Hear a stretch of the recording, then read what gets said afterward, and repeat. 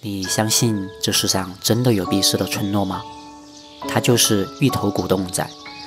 也许你从未听说过这个村寨的名字，但它已在岁月的风雨里飘摇了六百多年的历史。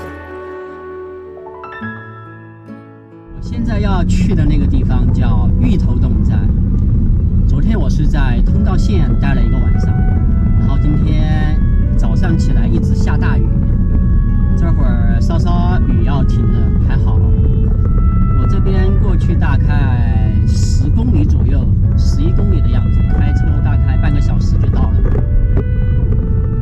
刚走到村里，我就看到这里的小孩、妇女、老人聚集在鼓楼里闲耍。也许是暑期的原因，这的小孩特别多。刚开始，对于我这个外来客，一直充满着好奇感。渐渐，也跟我有说有笑，很快打成一片。所以他们对这个很感兴趣，就一直很好奇，盯着他看。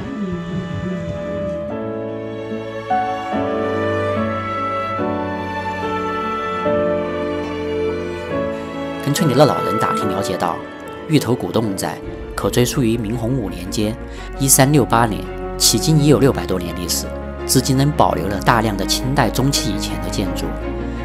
寨子里仅有的一百七十多户人家，延续着最原生传统的侗族生活习俗。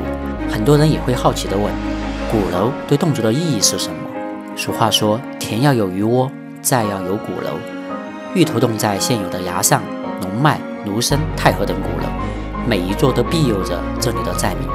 以侗族的民俗，一座鼓楼为一个支系或一个姓氏的象征。鼓楼是侗族村寨的中心，是最重要的精神支柱，也是侗族的文化代表。这座融入在大山里，依然延续着传统侗族生活的传统，也真正的远离了世外的宣泄，像是这个世界里的过客一样，少有人知。我是平凡的女记，欢迎评论、点赞、转发，我们下期再见。Música